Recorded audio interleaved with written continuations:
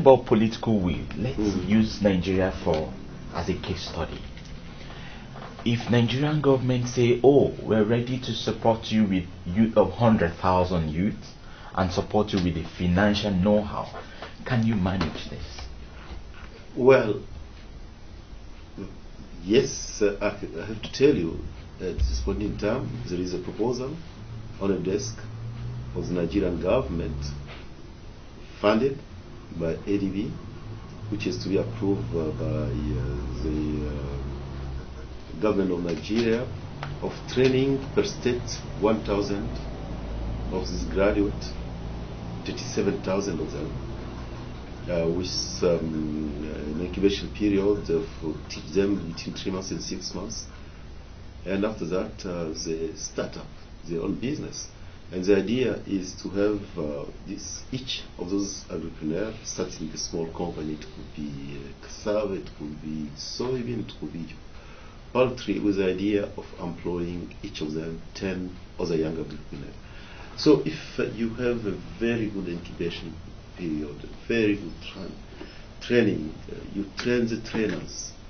I think this certainly, and having uh, institutions that are serious, really, basically uh, mentoring and monitoring those young people. Why should we not have? Why? If 12 young people in Imo, they can show that Imo can produce tomatoes and onion instead of uh, and marketing it. So I'm really optimistic about what we can do in Africa and so on. But uh, this conversation, we have uh, to take it and try to motivate uh, the policymakers because they have to see some of these things. Now, apart from Nigeria, of Mm. course, which we are seeing the success story Yeah. already that you have said, Mm. which other country have you introduced this agripreneur to that you can talk about success story right now, or are they just about to come to be? Oh no, well, uh, I think some uh, countries are making even progress than Nigeria. Uh, you, you take, for example, uh, Sudan. I said I'm going to Sudan. Sudan went to ADB. They saw the need of uh, these programs. They came here to Nigeria, here to IT to learn. And uh, they executed faster than Nigeria because they saw the advantage of it. And some of the young entrepreneurs who are here are going to Sudan to teach those young people in Sudan. Cote d'Ivoire, Madagascar. So let me give you an example of my own country. As this program, when I started it, I took these young people from here, went with them to DRC, Chibola for fish, Molayo for cassava, and they start working with the young people from DRC.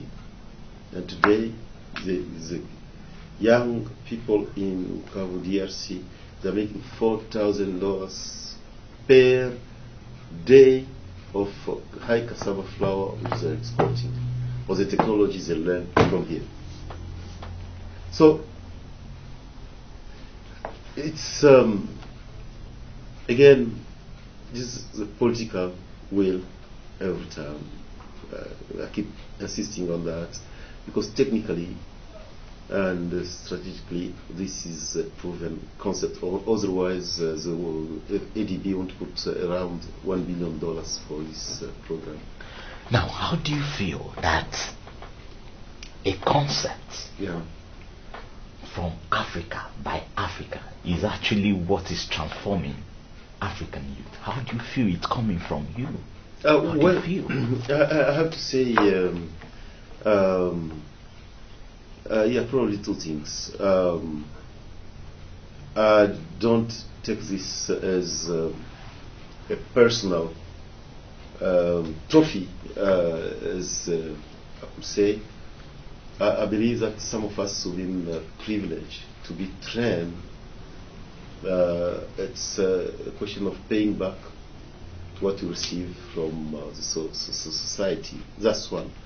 And for Nigeria, um, so particular, I would say emotional because I spent uh, almost all my career in this country. So Nigeria has given me a lot, and my family so working with uh, young uh, Nigerian like them, really, uh, for me, it gives me a lot of satisfaction and so on. With that, and you re- realize that, okay, I've been career, I trained a lot of PhD. Uh, some are directors and so on, and some occupy very good position, Nigerians, uh, like uh, other Africans. And I'm not talking about those, but I'm talking about these young people. It's not because I pity them because they don't have a job, but because this is the future. Now, my, my question is this is this is an a rare innovation that we see this kind of innovation coming from the Western world. Yeah. And this is actually coming from Africa by an African for Africa. How do you feel? You are the one being used as an instrument for for for to actually see African youths, you know, embrace agriculture. And it's working. How do you feel? Well, well, it's a sense of uh, satisfaction uh, because, uh, yes, occupying, uh, let me tell you, uh, occupying this position on this table here. I used to come in this office when my, my former, uh, when I was a scientist here or a student, I've known three director generals were my boss. It was even difficult for me to approach them because when you came to this office, you had this kind of fear. And during that period, uh, myself and Adesina, you can see him over there, we were among the only few scientists, two program leader among 24 European Americans. And uh, you could sense in all the meetings that we were not listened to. Even when you had ideas, sometimes they won't be considered at all. So, um, being in this position, now I know the reality, certainly, of uh, this continent because I live those realities and so on. And uh, knowing those reality, now have the freedom to bring solutions uh, to those reality without being filtered. So I believe that um, uh, this opportunity of uh, having an African for me is not a job uh, where I'm sitting here just because I have to collect my salary. My predecessor probably that was the case. But for me, it's really a mission. It is a mission to try to see that this continent finally. Um, and a lot of people uh, during the anniversary here, uh, when they were coming, they could not imagine that it was in Africa who was leading the center because of the way it's really managed and so on. So, really, there is no big deal of us leading centers like this once you are disciplined and you know what you're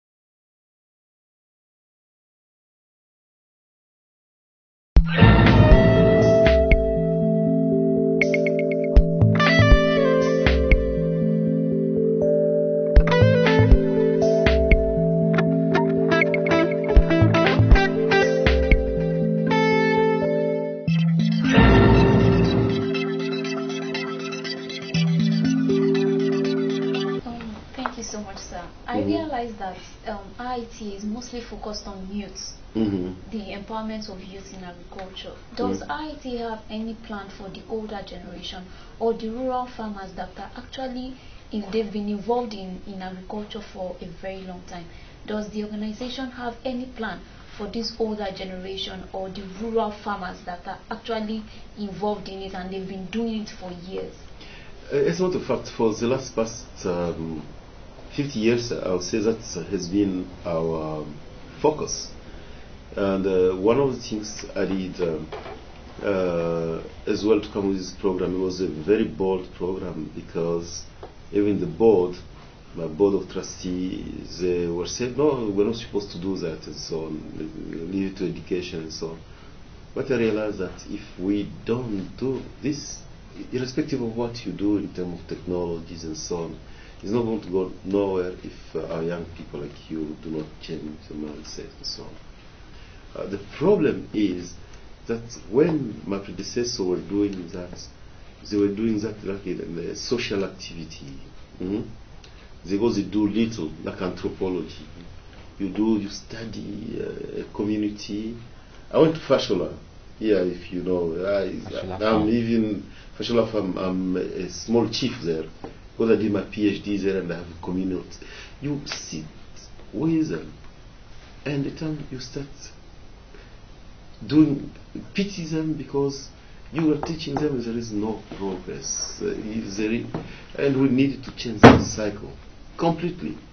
Completely, and that's how Africa is going to develop.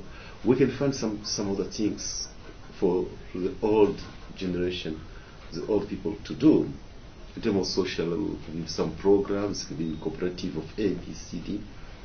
But production, agricultural production, we have to take it to the level where it's becoming a business. It means that you have to mechanize it.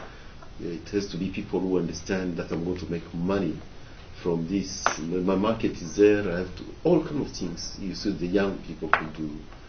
I, I think um, that's. Um, and uh, yes, I was in Osun State. Um, I think two weeks ago, I was talking with the governor. For two years, we've been discussing. And he kept telling me that well, I'm going to give you extension workers who we employ. Those people they don't have any motivation whatsoever. If they spend two months, they're not uh, paid. They've even forgotten, even I would say, to joke, to write, even. Um, yeah, oh, well, so they can't do extension anymore. And I told him and um, the Ooni, hey, let's tell all the young people of um, uh, Osun and uh, yes, they will do cocoa, they will do cassava, they will do all kinds of things and so on. So we have to shift that mindset of agriculture.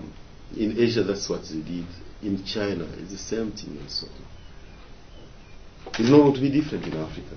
Mm, Yeah. Finally, finally, Yeah. African youth are listening to you. Your Yeah. advice for them. Yeah, yeah, well, I mean, the advice is just the young youth of today believe in Africa and believe in you. Because it's not a slogan to say the future belongs to you. Um, this is coming from Imo, where Silva, she's an electrical engineer. She is managing the largest greenhouse. When we trained her here, the greenhouse uh, was uh, 200 square meters. And uh, she said it was too much. Today she's managing a greenhouse with 25 times more than that. She's producing tomato in, in she's selling, selling, and she's saying that greenhouse, which was 25 times more what, she was trained, is becoming too small for her. And she wants more and more because she has seen the benefits of that. She's called her sister, young sister, to come and help her eh, in term. So there is a lot of future in this, and I do believe, as a matter of fact, I directed my son to go into the business as well. So as to tell you how strongly I believe. So he's doing that in DRC and uh, he's studied uh, basically hospitality and um, tourism travel. He's forgotten that he's in business. okay, Thank, you very much for your time. We're so Thank pleased you. to I had to run away and hide. Something happened in the middle of the night. I came inside without a sound. Suddenly my life was turning upside down. All that I could feel was pain, and strangers came and took my soul away. Like a deadly hurricane, I know my life will never be the same.